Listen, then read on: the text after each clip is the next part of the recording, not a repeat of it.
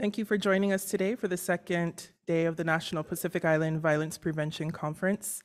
Thank you to all our incredible presenters and panelists. We learned so much from each of you, from your work and your life experiences, and hope that those providing services to our community, uh, that you have learned something new and meaningful, and have some tangible tools, resources, and connections to help advance your work. Tomorrow is the third and final day of our conference with content that has been carefully curated for our Pacifica community. You will learn from sexual health and wellness educators and advocates, Pacifica youth, our sisters from Independent and American Samoa who will share their incredible research on domestic violence, as well as the work being done with our Samoan youth. And we will end with some inspiring words from Melissa Natane Jones and Vanessa Malimali. Mali. I want to leave with you some final thoughts about today and the theme of our conference confronting domestic violence at the intersections. Intersectionality is a term coined by renowned scholar and civil rights advocate Kimberlé Crenshaw.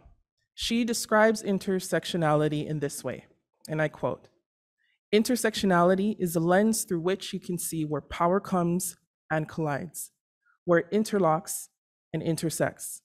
It's not simply that there's a race problem here, a gender problem here, and a class or an LGBTQ problem there.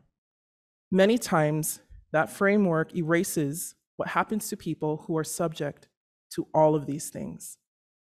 What we have heard today from advocates and survivors from our community is the challenges Native Hawaiians and Pacific Islanders in the US and territories face when seeking help, safety, and justice due to violence, such as intimate partner violence or domestic violence, family violence, dating violence, sexual assault, sexual abuse, and sex trafficking.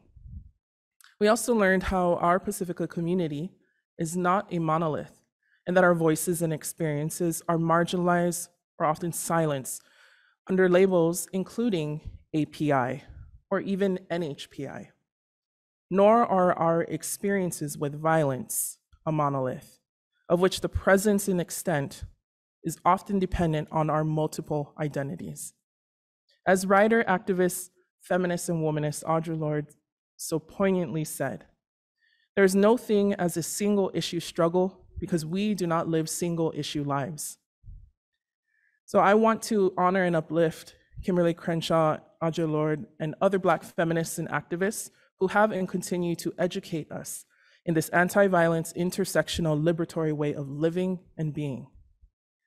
The National Pacific Island Violence Prevention Conference takes place each year to directly address the lasting and devastating impacts of systems of oppression, which exacerbate challenges and barriers for survivors from our communities.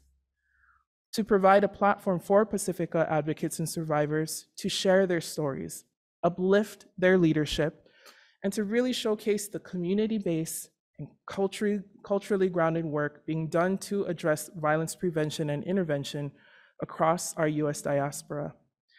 So we hope you will continue this journey with us, that you will join us on the last day of the conference tomorrow. Thank you so much for spending time with us. Take care of yourselves. And we send all our aloha, our alofa to you and your ohana, ainga, family, pa now. Thank you and have a good evening.